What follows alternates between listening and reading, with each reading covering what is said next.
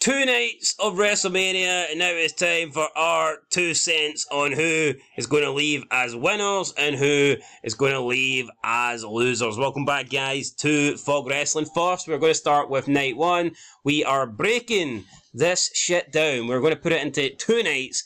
Night one, night two, WrestleMania, the WWE.com, they do not have the the match cards sectioned into night one and night two, but thankfully Wikipedia does. So whoever done that, appreciate it, and that is where we're gonna go through our predictions right now. So these matches are actually, I believe, in order. I, I think the order script was leaked a couple of days ago. So night one and night Well, it two. was Triple H that leaked it with his nose, so Well, there you go. So, I mean, Triple H, if Triple H leaked it, I would assume that these are correct. So, with that Dave said, Meltzer still got it wrong. yeah, Dave Meltzer still got it wrong. There you go. Uncle Dave there, just not really, not really at it, not really at the race. It's not worth that twelve ninety nine a month. But anyway, uh, this show I don't even think it's worth twelve ninety nine. Thankfully, we're technically getting it free because we what I get the would say see with The Rock being a part of a tag team match and you've got the main, I would actually say it's probably the first time since they've introduced two nights that it almost feels like it warrants two nights just due to The Rock. Would you agree with that? Yeah, possibly. Because I, I, I look at it and I think if they were to cram it onto one night, I mean, you would have that tag match, and then you, like the two world title matches are on night two already. It would feel like overkill in a weird way because you've just got like the same amount of people involved in so many matches. But uh, yeah, let's dive into it. I've had WrestleManias before with two world titles on it, and I, they were in the overkill and they were good there. yeah, I know, but I'm talking about the fact that you know Cody's doing two matches.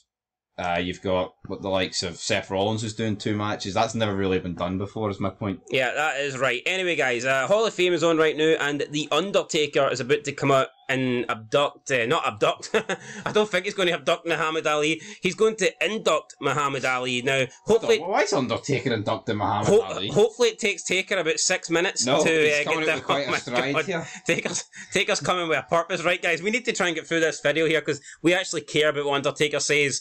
I mean, if it was like a Lunder Blaze coming out, we wouldn't give a shit and we'd make this preview No. 30 minutes. But it's Undertaker. He's coming to the ring. He's not walking slowly. So we need to get on with this preview and predictions. Let's go. Rhea Ripley versus Becky Lynch. The man versus Mami. Who's going to win? Women's World Championship on the line. This is kicking off WrestleMania. Will Rhea Ripley make it 365 days. Well, not exactly, but you know, a full calendar year, so to speak. Will she make it a full year, WrestleMania to WrestleMania, as champion, or will Becky Lynch stop this reign of Mami? What's your prediction? Go for it. She will. She will continue to hold this belt. I think if Rhea Ripley was to lose, it would have been to someone up and coming. But Becky Lynch, it just makes no sense to have Rhea Ripley lose to someone like Becky Lynch. I feel like with Becky, I'm not saying she's in the well, she kind of isn't. For a woman, like she is kind of in the twilight of her career. Well, she's 30, what, 8? Yeah, so she is. It makes no sense to have someone who's like 15, 12 years younger than you to job to you, especially when you're like similar star level at this point. I mean, Becky Lynch has kind of went down a wee bit in value recently, so yeah, Rhea Ripley to win all day for me. Yeah, I'm going for Rhea Ripley to win as well, and the fact that WWE love long title reigns, I believe that this one will continue even longer. So, unfortunately, I don't really like either woman, but I do believe that it will be Rhea Ripley victorious. Right, next, Gunther versus Sami Zayn, Intercontinental Championship. Gunther's held the belt for, I believe, over two years now. I see that continuing here. I just don't see Sami Zayn being the guy to end it. So, yeah, I'm- going to go with Gunther retaining. The ring is sacred. This championship title is probably sacred, and I don't think he's going to allow Sami Zayn to touch it. So Fair enough. The only thing bigger than Gunther's nipples is the Undertaker's ears. Look at the fucking size of them. God damn it! They are massive. You could take off with them. Yeah, calm, calm down. He might hear you. See Triple H's nose with his ears? What a weapon that would have been. Fuck, aye, Who needs a sledgehammer when you can swing that thing? Rikishi's arse? Jesus, what a Oh. stink. Right, anyway, Gunther's winning. Oh, hold on. What? See if Rikishi done his arse to Triple H's nose. We're not getting peeled. The stink face. Jesus. Talk about Brian nosing. Right, anyway, Anyway, right, Gunther, if Sami Zayn wins, we'll I delete will- this channel. Well, yeah, there you go. Ah, I'll right. donate all, all the money in my bank account to Tony Khan. Can we get a? Can we get a? I don't know, like a, a signature to that contract? Right, signed. Right, there, you go. Up next, six pack uh, tag team ladder match. Uh, Judgment Day versus. Do I need to go through all the teams? No. You can see them, guys. So I'm not going to name them all. I think Judgment Day will retain. gone are the day, gone are the days. Sorry, not the Judgment days of uh, Edge and Christian, the Dudleys and the Hardys and ladder matches. Yeah, those days are well gone. I mean, th- this is fucking petrifying to actually look at. But um, yeah, I hope the Judgment Day actually retain. I wouldn't mind Awesome Truth winning, but anyone else would be a disaster. I don't mind A Town Down Under, but they're not. Is that their actual name? How, how lazy is that? A Town Down Under. Jesus Christ. Anyway, I mean, you've got the New Day in there, you've got DIY. I just don't think any of those teams are going to win. I'm going with the Judgment Day, you're going with the Judgment Day, we're both going with the Judgment Day. Let's move on. Match number four Jey Uso versus Jimmy Uso. Battle of the Usos, Battle of the Bloodline. Um, you would expect Jey to win based on how impressive and how highly Jey's been booked, I guess, since splitting up from the bloodline, and Jimmy's not really done anything other than remain like a. I mean, what's the not a slave like, but he's a. Uh, slave's probably the wrong word to use here, but, But you know what I mean? He's just a, a pawn, really. He's he's just there. He's a henchman and a, a- poor one at that. A guy that can't get the job done. he's a soldier. Jesus Christ, we're trying to speed this up to here He's a He's, man. a, He's a man without he's almost fell off the stairs. Somebody looking like the from the strain is entered the fray here, but uh, I mean, uh, the bloodline strain is straining me. I think Jimmy's going to win. Yep, uh, I'm gonna go with I'm gonna go with Jimmy as well. I, I think it's just been all Jey so far, and I think we're going to see a surprise with Jimmy. Up next, Bianca Belair, Jade Cargill, and Naomi taking on Damage Control. Uh, Dakota Kai, Asuka, and Kairi Sane if anyone cares. Who are you going for here, and why? I think I know who I'm going for. I'm going Team Black. Team Black. Yeah, I don't know how to respond to that. How do you follow that up? Well, how are they not going to win? once you go black, you never go. Well, Damage Control the tag team champs, but who would have thought it? Like, I mean, You know what I would do, right? See, to try and save face, I would probably have Jade Cargill turn heel and batter the fuck out of Belair and, and Naomi because what they're doing with these three is, is butchering them, pointing the signs and saying Estes. Oh, wait, that's Bianca Belair's gimmick anyway. She's fucking shite, doesn't matter what you do. No, but in all seriousness, Jade Cargill, the, the- I mean, what, what are they doing with her? It's been uneventful. I, I think what they should have done is probably like Jade Cargill against Tiffany Stratton. Like, why is she not on the card? Yeah, uh, Tiffany Stratton not making this year's WrestleMania. Uh, not fair to me at all. Like, since this throwaway match, would you not rather just have a singles women match with a, with a half decent build if possible?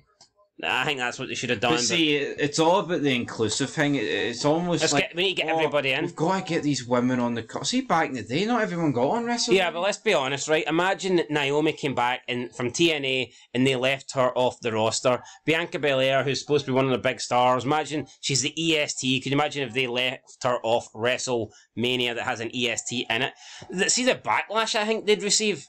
be racism. I think we're getting to the point now where if you're a certain position on the card, you have to be on Mania. I don't think you can be left out now. I think it's like this inclusive, oh, we all need to be on it. I do not think a Bianca Belair, uh, unless she's injured, can be left off WrestleMania. That's not my opinion. I, I believe that's what WWE think as well. But see, you know it's shit. See, if you didn't have like a gimmick pay per view like Money in the Bank, you could do like a women's Money in the Bank at Mania. You could. But the, the trouble is, you, you've got it every year now at a pay per view. Yeah, I mean, or, or for me, like, why not just do Asuka and Kairi Sane versus Belair and Cargill, and then maybe you can have the turn then? Uh, just a straight two on two tag team match for the belts. You can have a turn, and, and then you can set that match up for Backlash, something like that. Although WWE like to drag it out, they probably would want to build the match to like SummerSlam or something because everything needs to be slow and boring. Or next Anyway. Mania or something. I am going to. I mean, unless Bianca Belair turns, her team will 100% win. Yeah.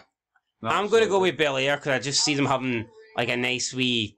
I just I just see it ending with them and I'll point at a sign or something. Yeah, I'm going to go for Team Black. Or three big strong black women or something like that in the ring. So, aye, uh, right. Rey Mysterio and Andrade versus Escobar and Dirty Dom. Who are you going for and why?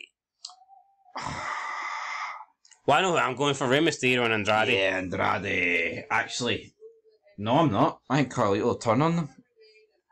Hope so. Hope so. I'd like to see Carlito turn and go off on his own. Let's talk about see if Carlito control. turns though. Can he just go to Raw and get away for this shit? Absolutely, but do we think it's time to call it a day on the damage control faction? If Iyo Sky loses and they lose that match, is it not time to just go separate ways and go back to Japan or whatever they're going to do? I don't know. I think you could argue that they probably think they're getting into the, their stride. You know, they're oh we'll, we'll get rid of Bayley. This is the real damage control. I'm I don't. sorry for even bringing this up. Let's talk. Let's go. Let's talk. Let's talk about the real reason why we're here. The only match that matters: Bloodline, The Rock and Reigns versus Cody Rhodes and Seth freaking Rollins. If Rhodes and Rollins win, all members of the Bloodline will be barred from ringside during Undisputed Universal Championship match on night two. If Rock and Reigns win, the championship match on night two will be held under Bloodline rules. So yeah, that's the stipulation. Um, is what it is, I guess. Uh, Bloodline rules. I'm not really excited for Bloodline rules. Thought the match they had on Raw fucking sucked. Yep. So, um, yes, and I get it. Bloodline rules means that bloodline members can get involved. But what happens if that happens? Is Cody going to back up? Is anyone going to get involved on Cody's behalf? Like, how would that work? We don't really know. I guess we'll just have to wait and see.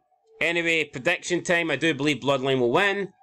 I'm going to predict The Rock and Roman Reigns defeat Cody Rhodes and Seth freaking Rollins. That's my prediction. We'll see if it happens or not. Your prediction? What you going for and why? My prediction. Well, I mean, how you've got to look at the rest of the show. Uh, like night two, is Seth Rollins going to lose? I think so. Is Cody Rhodes going to win? Yes.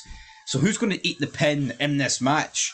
That is the. Are they going to have Cody Rhodes eat the pin and then win on night two? Would that be the ultimate comeuppance? I, I don't think you want that, but I also think Seth Rollins will be bitching if he has to lose both.